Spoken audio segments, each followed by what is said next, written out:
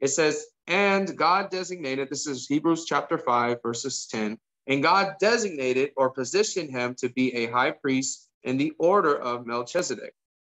It says, There is much more we would like to say about this, but it is difficult to explain, especially because you are spiritually dull and don't seem to listen. Whoa, that's some context right now for what he's talking. He says, You have been believers for so long that you ought to be teaching others. All right, this sounds like those believers that are just stubborn they want to stay at one level and they don't ever want to grow. All right. It says you need someone to teach you again the basic things about God's word. Okay, so there are some basic fundamental things about God's word. Now let's keep reading. It says you are like babies who need milk and cannot eat solid food. This sounds very familiar. It sounds like uh First Corinthians when Paul was speaking into speaking to them. He says, "I wish to give you milk, or excuse me, I wish to give you meat. He said, but you guys are carnal. He said, you guys are following the things of men, but not the things of God. I see that's the dividing line right there. When you start to follow the things of men, you it shows that you are not a spiritually mature Christian or you're not on the trajectory or pathway of maturity, right? Like you and I both know that, you know, I'm gonna think about when the kids were little babies and how when they I always think about teeth whenever I see this because I remember the day they started getting teeth, and you can give them just the littlest piece of food and they don't want to go back to that bottle. It's very, very seldom, but I mean, they like it. But once they get that food, it's like you can't undo that. But the thing about it is that you got to grow some teeth, amen. And some people want to stay at that baby level, that baby level where they keep being unstable. They have all this time to learn all this word, but they keep want to stay in an unstable situation. Like the Bible says, a double-minded man is what? Unstable in all that he does.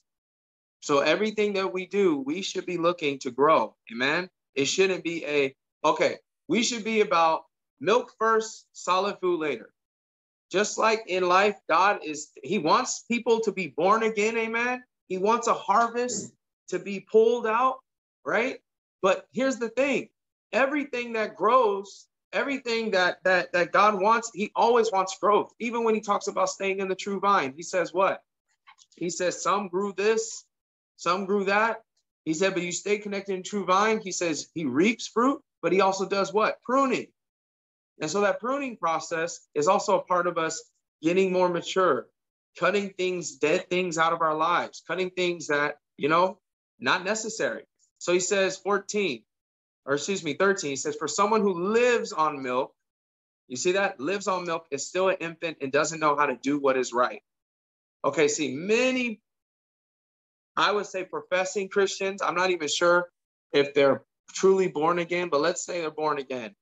There's people that are out there that they don't want to, they don't know what to do is right, honestly. They keep running into the same old cycle of things and primarily it's because they're not getting the food that they really need. They want to stay on milk. It's something has entered their mind, a stronghold and imagination that says you'll only be at this level and you're not going to grow anymore. As if like God wants you to stay there. God wants every single person. I don't care. Hear, me on the spirit. Holy Ghost told me this right now. He says, no junior Holy Ghost. Just because you're a child or just because you're a grown up or you haven't been 80 something years in the faith and you haven't seen, you know, five different uh, decades of information, that doesn't matter.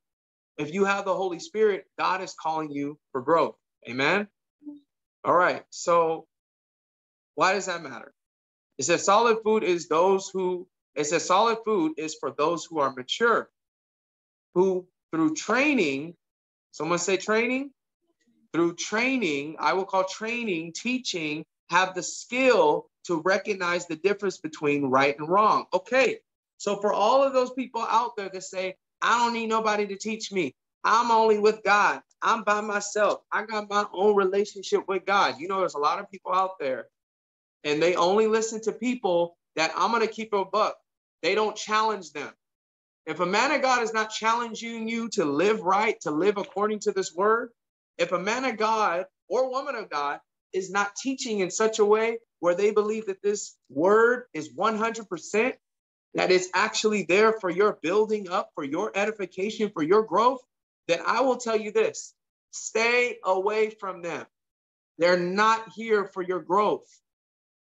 If people want you to stay at that level, I remember back in the day, uh, I can't remember it was uh, management or something like that, and I was first getting hired in an old old retail store, and I remember the area manager when I was just entering in the first week, and I met up with them, and they gave me like a a, a handbook that wasn't my position, but it was the position above my position.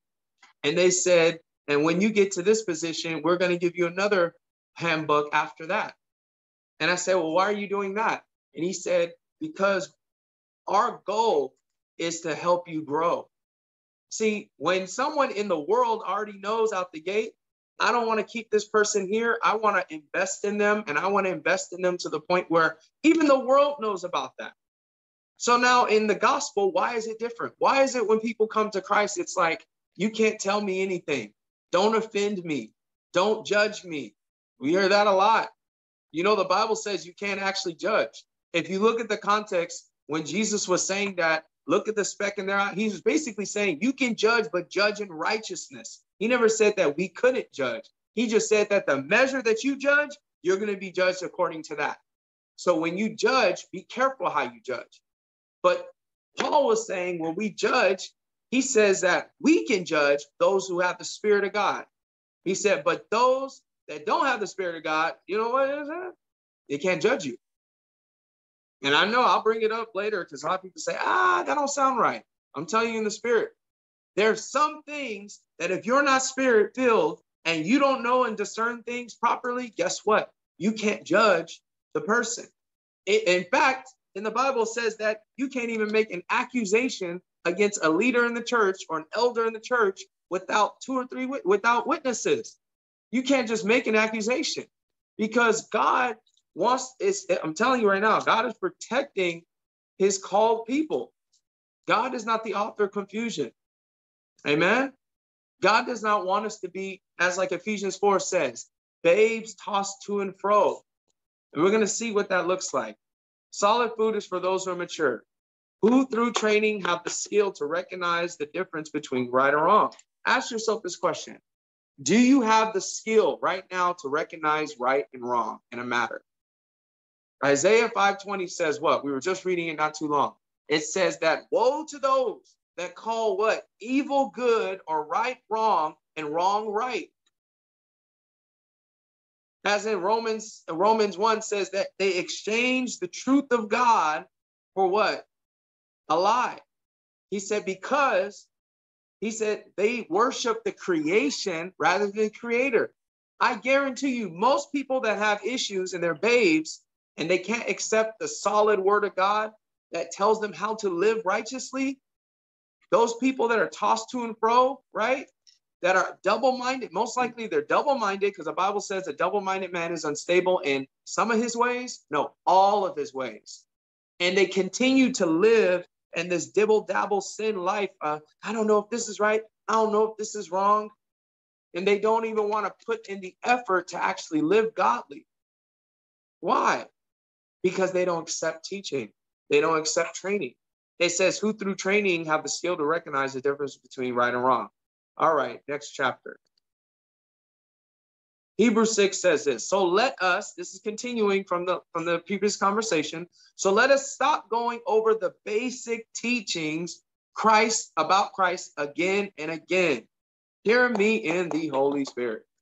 How many times do you see on these social media platforms, YouTube, Facebook, Instagram, blah, blah, blah, blah, blah, blah, about believers or Christian quote unquote denominations or organizations saying the same thing over and over and over again and never ever getting to the place of what we would call maturity, maturity in the faith.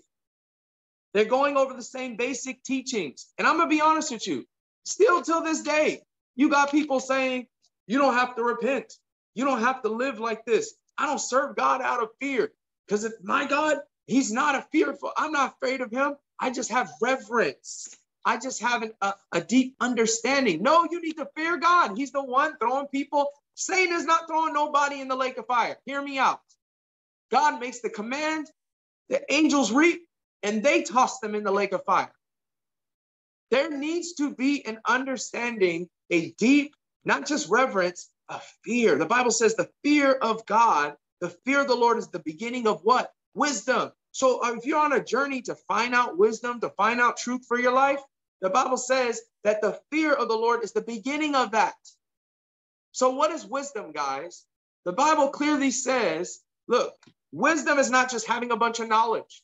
Wisdom is the application of that knowledge so that you're getting trained to say, okay, I know what's right and wrong. But the world that we're living in, guess what? It's not like that. Everything's relative. They don't even understand what something is absolute. And the, t- the terrible part about it is that they're just spinning in a state of confusion because the Bible says that there's always truth. Amen. He says that you can either be for the truth or you can be against the truth. And Jesus is showing us and trying to tell us now, go on to perfection. He said, don't, he says, let us go on instead and become mature in our what? Understanding. Hebrews 6 says, stop going over the basic stuff. And what's the basic stuff? This is what the uh, Hebrew uh, author says. Surely we don't need to start again with the fundamental importance of repenting from what? Evil deeds, evil actions, sin. That's why in Acts 2:37, Acts 2:38, when they said, What shall we do? He asked Peter, What shall we do? They basically said, What should we do to be saved? Like, what should we do? Not what should we believe? They already have the belief. They already realized in that moment, wait a second, Jesus is the Messiah, the same one that we were we were rejecting, the same one that we were, you know, we didn't accept. He said, Okay, what do we need to do? He said, Repent, turn away from your sins. That's not a one time, this is consistently, continually, you should be rejecting sin in your life you should know and have the knowledge that repenting from evil deeds is not saying, Lord Jesus, I messed up. I ask for forgiveness. You have the look, you we have the grace to do that, but God doesn't want us feeling like we are a slave to sin. That's the lie of the enemy. If you're born again, you're not a slave to sin. I used to believe in that lie. Trust me. I, I know how Satan, how the devil put a lie in my mind and said that you cannot really live holy. That is not realistic. And you know what? You don't want to know why? Because I was acting like a babe. I kept thinking, you know what? I'm just going to believe what that other preacher said, and I'm just going to be a sinner saved by grace. There's nothing biblical about that statement. And I know I offended people, and I don't really care because the word of God offends. You'll get over it. Get into the word of God. Stop making stuff up. Stop cherry picking the scriptures. And please, please stop adopting non biblical doctrines that are coming from these communities. Specifically, not calling nobody out, but a lot of non denominational, evangelical type of communities will say this stuff Jesus is love, fill the void in your heart, it's okay. Come as you are. You know what you're saying? Yes, come as you are, because they don't want people saying, oh, I got to clean myself up. No, Jesus cleans you up, but it's through a relationship and you mm. realizing what his power was when you go in that water, when you get, when you actually have a change in state of mind. Repentance means what? Metanoia means a change of state of mind, meaning, and now you're saying, I'm not living and repenting of evil deeds. But here's the thing why is every why is everybody stuck on the bottom level? Why are people still struggling with the same things? Why are people still entertaining a worldly influence? For example, listen to worldly music. Is that something that a real born again believer should be doing? No. I had a struggle with that at one point myself until the Holy Spirit says, stop listening to that crap. Well, I, think it's okay because I'll, I'll get the, uh, what's the term? uncensored, what do you call the the censored version? Excuse me. I'll get the clean version, and I'll be good. Yeah, God, look at me. I'm I'm I'm I'm working for the kingdom. No, you're listening to still demonically influenced music. What do you think? Because they just bleep out the curse words here and there, that you don't, that your mind don't know how to fill in the blanks? Come on. And you don't even know the spirit that is projecting. What is the content of their information? We think we can just hang with whoever we hang with. Do y'all understand the Bible says that bad company corrupts good morals? Do you think I would just hang out with people? The Bible says that light has no fellowship with darkness. Amen. But we're supposed to expose the works of darkness, meaning in if I'm hanging out with people that rob and steal and kill, and I'm just like, oh, I'm a sinner saved by grace. That's why I hang out with them. Because you know, I'm just trying to, you know, Jesus hang out with sinners. Listen, if you're not really there and you're not and you're not strong enough to actually be a witness to these people, guess what? You can get captivated. You can get influenced. It's very easy for a Christian to be deceived. That's why he, how many times does even Jesus speak about deception? He speaks about the, many, the, the Pharisee, he speaks about all that stuff. See, we think someone like me who's giving the word of God and showing in love, but also showing in, look, love concealed. I don't know, if, uh, like, I don't know if that's really love. You should be able to speak people in love. Like the Bible says, perfect love casts out fear. It should be something where if you know burning building is, is gone down and hear people screaming, you ain't gonna wave at them and say, I love you. Like, no, you're not even gonna wave at them. You're gonna run in there and try to get some help to take them out. But the problem is that many people are in a burning building right now thinking that everything's all good. They can keep listening to worldly music. They can keep being however they want. They can try to quote unquote fit in into the world when the Bible clearly states that if you're a friend of the world, you're an enemy of God.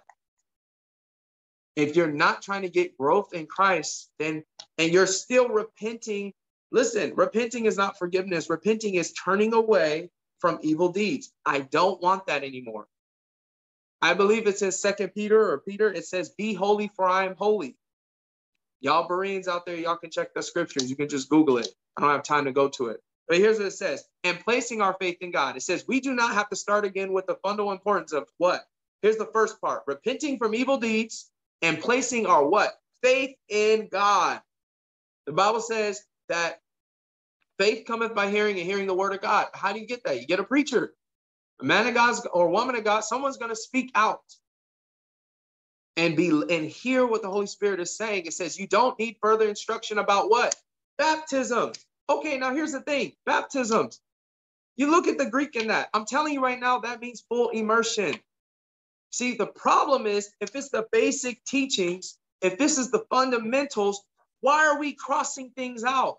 Why are some people saying, just believe in your heart that Jesus is Lord and, and, and, and believe in your mind? Say, confess with your mouth, believing in your mind that Jesus is Lord and you shall be saved. That's it. Abracadabra, done. Romans 10 9. Wait a second. You don't read the context. You don't understand the sovereignty of God. You don't even understand who Paul was speaking to but you use these piece by piece cherry pick things and don't see that this is the beginning. Like this is a process. Shall be saved It's not immediate.